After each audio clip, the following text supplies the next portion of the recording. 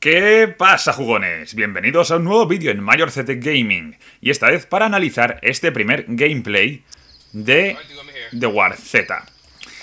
No es algo que tenía pensado hacer, pero bueno, es un juego que por la verdad estoy emocionado del hecho de que salga y quería ver un vídeo y bueno, pues resulta que ha aparecido aquí este gameplay. Tenían prometido que hacia finales de agosto pues saldría algún eh, vídeo de este juego y bueno, pues al final, en septiembre a principios, ha tocado. Junto con el PAX de Estados Unidos. Y bueno, podemos ver que la verdad pinta bastante bien. También es cierto que esto es un gameplay hecho durante la noche del juego, con lo cual, bueno, ya sabemos que durante la noche todo luce mejor porque se ve peor. Pero bueno, ya solo ya el coche que vemos ahí es un dato importante. Nos fijamos que está a una altura, digamos, más o menos normal o al menos eso parece, porque en The War Inc., que es el juego en el que se basa The War Z como base, y también en las fotos que había de The War Z, los coches eran o parecían muy grandes, de incluso casi dos metros de altura. Pero ahí por lo menos, eh, quizá en, el en ese coche de policía, lo vemos más normal. Vemos cómo se está moviendo por ahí, investigando la zona. Y cómo ahora se dirige a esa ambulancia. Ahí en el suelo tenemos objetos, como es un equipo médico, también algunas medicinas, etc. Eh, todo esto recuerda, esto de encontrarse cosas por el suelo, a lo que es DayZ, aunque lo que es la interfaz recuerda quizás más a Dead Island.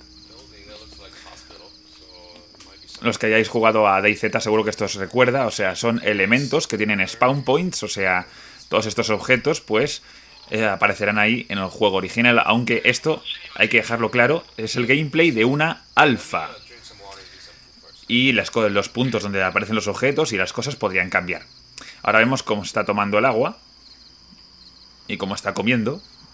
O sea, vemos el inventario.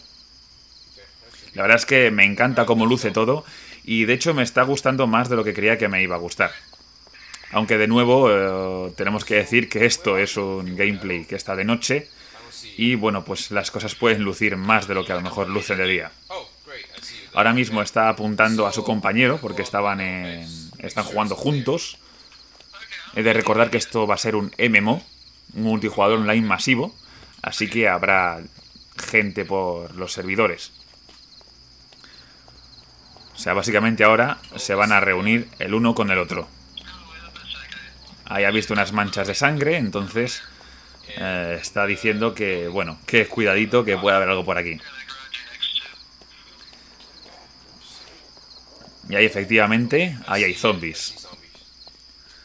Pero como tiene el silenciador, pues no le preocupa disparar porque supuestamente no se acercarán más zombies, como ya había disparado antes.